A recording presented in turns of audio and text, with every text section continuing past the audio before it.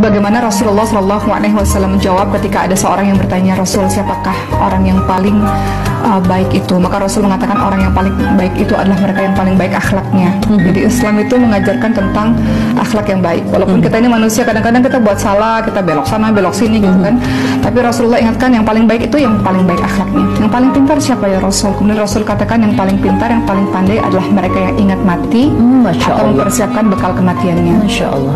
Bagaimana caranya supaya kita senantiasa ingat mati, ya jadilah orang-orang yang pandai itu.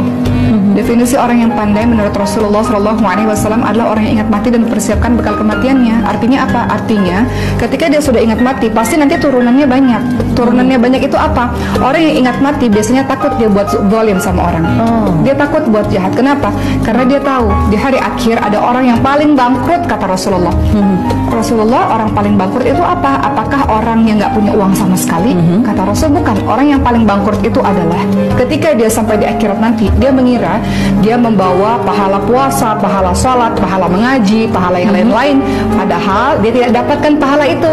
Kenapa? Kenapa? Karena ketika dia bolim sama orang di dunia, uh-huh. orang yang dia bolimi itu me, uh, minta keadilan haknya. Ya, menuntut haknya atau meminta keadilan kepada Allah Subhanahu wa taala. Ya Allah, saya nggak ridha ya Allah kalau dia masuk surga. Hmm. Mungkin dia banyak puasanya, sholatnya, mengajinya, tapi dia bolim sama saya ya Allah. Dia jahat sama saya. Dia belum mengembalikan hak-hak saya yang itu akan dituntut di hari pertanggungjawaban ya, nanti kiamat orang yang dizalim ini menuntut oh, ya, Allah akhirnya apa akhirnya pahala-pahala orang hmm. yang tadinya banyak menurut si dia ini diberikan kepada orang yang dizalimi hmm. belum cukup sampai di situ dosa-dosa orang yang dizalimi diserahkan kepada orang tersebut hmm, maka okay. itu sebangkrut-bangkrutnya orang artinya kalau orang yang ingat mati salah satu turunannya adalah pasti dia takut sekali untuk berbuat zalim berbuat curang berbuat jahat hmm. dia takut untuk menjadi orang-orang yang bangkrut tadi